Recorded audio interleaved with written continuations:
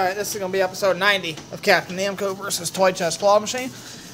I'm going to try win this elephant right here in front of me.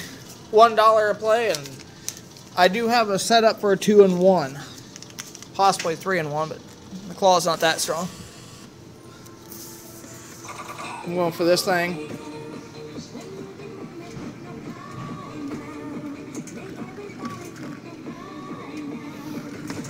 If I can get eyed up for that 2 and 1, maybe that'd be nice. There it is. There's the double. Nice. I set it up for the two and one, and there you go.